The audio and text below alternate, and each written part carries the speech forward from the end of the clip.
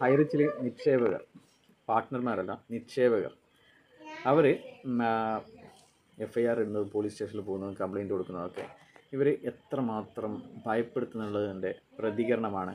അവരിന്ന് തുടരെ തുടരെ അയ്യൂബ് ഖാൻ വീഡിയോ ഇടുന്നു മറ്റേ മെൽബിൻ വീഡിയോ ഇടുന്നു.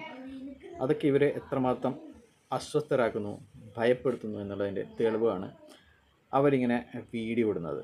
എന്നിട്ട് അവർ പറയുന്നത് ഇങ്ങനെ കേസിന് പോയി കഴിഞ്ഞാൽ നിങ്ങൾക്ക് പണം കിട്ടില്ല. ഈ കമ്പനി തിരിച്ചു വന്ന് പോളിംഗത്തിലൂടെയാണ് നിങ്ങൾക്ക് പണം കിട്ടാനുള്ള ഏക മാർഗം. ഇതിന്റെ കൂടെ നിങ്ങൾ മനസ്സിലാക്കേണ്ടത് പതിമൂന്ന് ലക്ഷം വിട്ട ആൾക്കാർ അവർക്ക് ഇവർ പറഞ്ഞ പണം ലഭിക്കാതെ വന്നപ്പോൾ കഴിഞ്ഞ ആറ് മാസമായി കഴിഞ്ഞ രണ്ടായിരത്തി ഇരുപത്തി മൂന്ന് മാർച്ച് മുതൽ കമ്പനിയുടെ എം ഡി എയും C A O CEO Sreena പ്രതാപിനെയൊക്കെ നിരന്തരം ബന്ധപ്പെട്ട് അവർ പറ്റിച്ച ഒരാളെ കൂടി നിങ്ങൾ മനസ്സിലാക്കണം. അദ്ദേഹം ഇപ്പോൾ പോലീസ് സ്റ്റേഷനിൽ പരാതി നൽകിയിരിക്കുകയാണ്. അദ്ദേഹത്തിന്റെ എഫ് ഐ ആർ രജിസ്റ്റർ ചെയ്യപ്പെട്ടിട്ടുണ്ട്. അപ്പോൾ ഇതാണ് ഇപ്പോൾ ഇവർ പറയുന്നുണ്ട് അയ്യൂബ് ഖാനൊക്കെ അയ്യൂബ് ഖാനാണ് ഇത് പറഞ്ഞു തുടങ്ങിയത്. നിങ്ങൾക്ക് ഇനി താല്പര്യമില്ലെങ്കിൽ മണി ചെയ്യാൻ താല്പര്യമില്ല എങ്കിൽ കമ്പനി നിങ്ങൾക്ക് നിങ്ങളുടെ പണം മുഴുവൻ തിരിച്ചു തരുമെന്ന്. അത് അയ്യൂബ് ഖാനാണ് പറയുന്നത്. അല്ലാതെ കമ്പനിയുടെ എം ഡിയോ സിഇഒ ഒന്നല്ല പറയുന്നത്. അയ്യൂബ് ഖാനാണ് പറയുന്നത്. അപ്പോൾ ഇത് പാഴ്വാക്കാണ്. ഇപ്പോൾ നിങ്ങൾ ഈ ഈ പറയുമ്പോൾ ഒരു കാര്യം കൂടി ശ്രദ്ധിക്കാനുള്ളത്. ഇപ്പോൾ ഇവർ പറയുന്നത് നമ്മൾ പറഞ്ഞോ നിങ്ങളോട് ലോൺ എടുത്തിട്ട് പൈസ ഇടാൻ. നമ്മൾ പറഞ്ഞോ നിങ്ങളോട് ഇല്ലാത്ത പൈസ ഇതിലിടാൻ വേണ്ടിയിട്ട്. നമ്മൾ പറഞ്ഞിട്ടുണ്ടായിരുന്നില്ലേ ഇത് റിസ്ക് ഉള്ള പരിപാടിയാണ് എന്ന്. അപ്പോൾ ഇപ്പോൾ ഇവർ അങ്ങനെയൊക്കെ പറയുകയാണ്.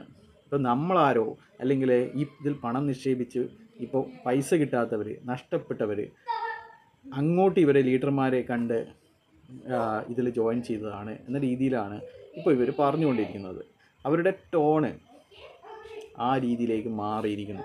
ഇവർ നിരന്തരം വീട്ടിൽ വന്ന് പ്രലോഭിപ്പിച്ച് ഇവരുടെ പല പല എല്ലാ കഥകളും പറഞ്ഞിട്ട് ആണ്. എല്ലാവരും തന്നെ എല്ലാ പാവപ്പെട്ടവരും തന്നെ ഇവരുടെ മീറ്റിങ്ങിലേക്ക് ക്ഷണിച്ചു കൊണ്ടുപോയി എല്ലാവരും കൂടെ വന്ന് ബ്രെയിൻ വാഷ് ചെയ്ത് ആണ് ഇവരൊക്കെ പൈസ നിക്ഷേപിച്ചത്.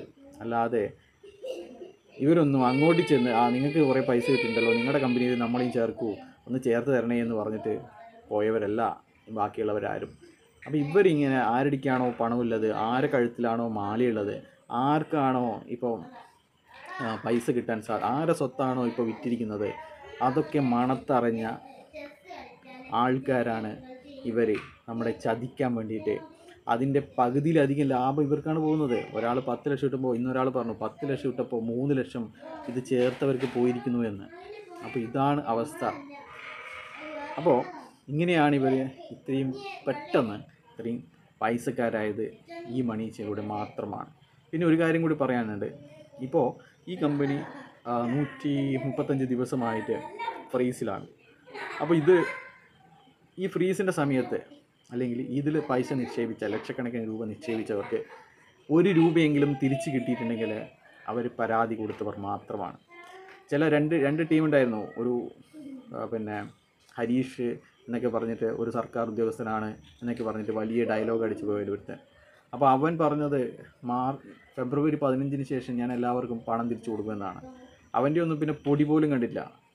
അപ്പോൾ അങ്ങനെ സ്വമേധയാ പൈസ ആരും തന്നെ തിരിച്ചു കൊടുക്കില്ല? കേസ് കൊടുത്താൽ മാത്രമേ നിങ്ങളെ തേടി ഇവരെത്തുള്ളൂ ഇപ്പോൾ നമുക്കറിയാലോ തൻസിയെ ഏത് ഏതൊക്കെ തരത്തിലാണ് ഇവർ കോൺഫറൻസ് കോൾ വിളിച്ചതും എത്ര ആൾക്കാരാണ് തൻസിയെ വിളിച്ചിരിക്കുന്നത്. അപ്പോൾ അതാണ് അവസ്ഥ. ഇവർക്ക് കേസില്ല എന്ന് പറയാൻ പറ്റില്ല. എന്തായാലും ഒരുപാട് കേസുകൾ വന്നിട്ടുണ്ട്.